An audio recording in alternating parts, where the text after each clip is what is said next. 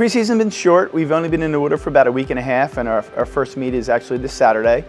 So um, we're trying to do as much as we can in, in the shorter amount of time that we have. Um, aerobically, we're, we're really working with the kids to get um, as much in as we can, and also drill work. I, I, think it's important, you know, to do drill work to make sure that their strokes are, are refined and, and that we're not missing that, that piece of, of the puzzle. So, you know, it, it is a little difficult to, to, try to fit everything in, but, you know, the kids are working hard.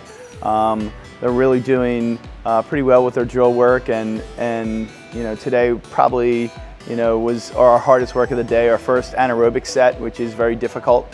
Um, so they're definitely, they're definitely um, moving forward in their progress.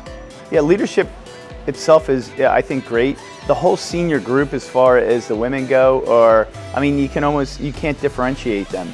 Um, it doesn't matter whether you're the best swimmer on the team or one of the lesser swimmers on the team. They all have a voice. Um, they all have the respect of everyone on the team. Um, expectations are are pretty high, I think, for us.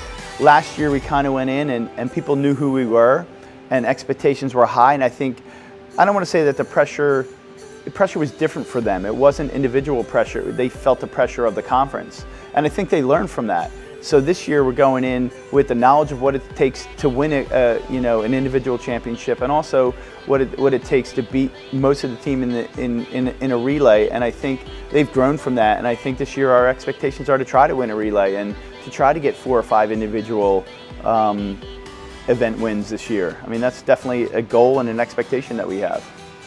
On the guy side, you know, um, Brian had a great year last year and, and, really surprised us in the distance events, and, and I'm hoping he actually scores this year. And, and Adam um, did really well in his breaststroke, and, he, he wants to come back and, and try to score again this year. And, and Steven actually, he's a junior. He, um, he didn't swim last year, but he came back uh, his junior year here and, and is swimming really hard. And I would expect him to, to hopefully final in, in his, his fly events and possibly the two free. So you know, I, I think we're going to be in the mix in, in several different, you know, events and, and with, with uh, several different kids.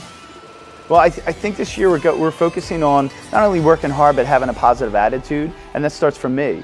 You know, I need to make sure that, you know, even though we swim every single day at, at 6.15 in the morning, that, you know, I portray a positive attitude, and, and um, I think that'll trickle down to the kids, and, and I already see it working.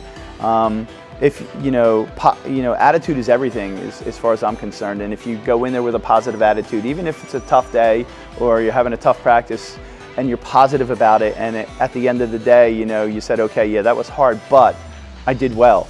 Um, I, I, think that's going to go a long way. So yeah, I think we're going to be a little more positive this year, and I, I think um, it's going to help on our training. And you know, I, again, I really believe that at the end of the year, you're going to see you know, how well these kids trained and how hard they worked, and, and they're going to, again, surprise some people at the conference meet.